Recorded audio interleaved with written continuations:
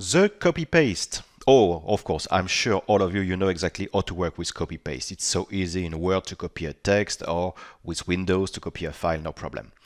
In Excel, it's very simple as well, but there is a lot of tips, and I'm sure you don't know all of them.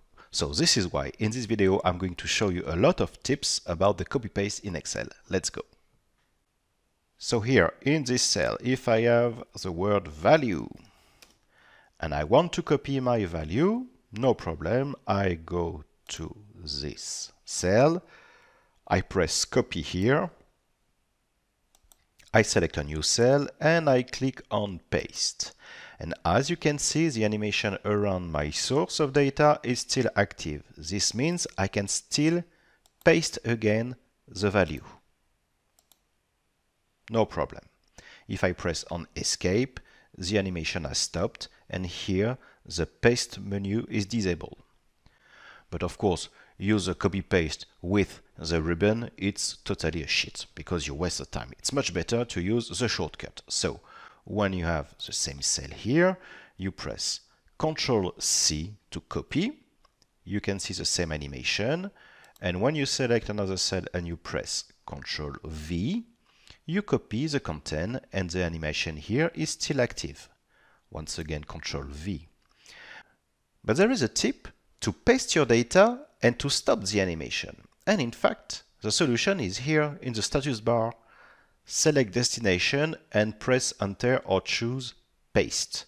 So if I select a cell like this one and I press enter, automatically I have copied the content and the animation has stopped. Now, if I try to press Ctrl V, nothing happened because paste here is disabled and the animation has stopped. So here it's really the very basic of the copy paste.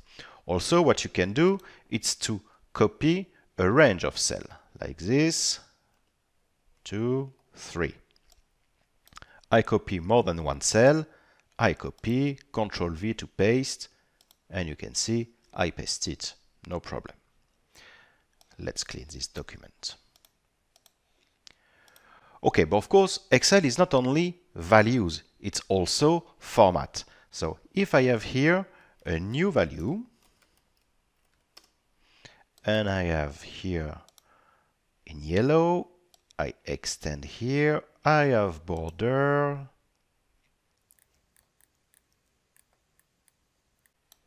like this. So now if I copy this cell here, for instance, you can see that not only I have copied the content, but also the color and the border, everything. But if you want to copy the content of the cell without the color, without the border, nothing, there is an option to do that. It's the paste special. So I present the tool now, but there is a complete video in this YouTube channel with all the different options of the paste special. So if I select here this cell, copy again, I go here, I activate the paste special, values, and as you can see, I just have the content of the cell without formatting. But now, if I have a list of data like this one, one, and I want to copy it, I have only one. But here again, there is a tip. If I press Ctrl and I extend, I have increased my series of one unit all the time. But here again, there is another video, there is a lot of tips in Excel. There is a video just to increase the series and here again with the fill handle, the fill handle it's this square. There is a lot of action you can do, so please have a look at this other video just to increase the series. But here in that case, if I have these values like this. And I want to make this time a formula like we have seen before. This one times this one. And I copy this formula.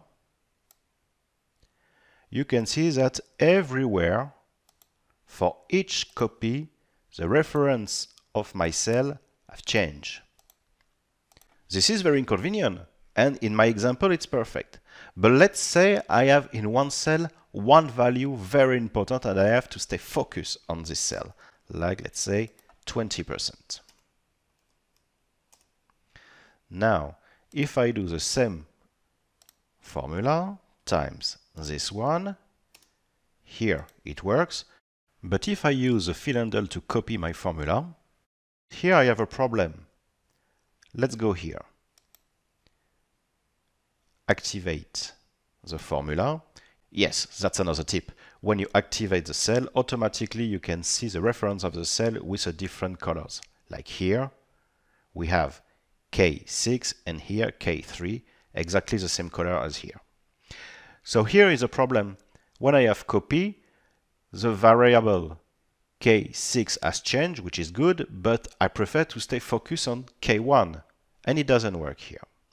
Don't worry, there is a way to correct this, and this is in the video reference absolute.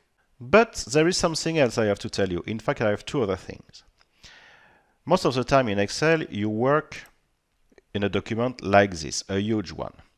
How many rows? No problem. Control a row down and I reach the last cell of my document.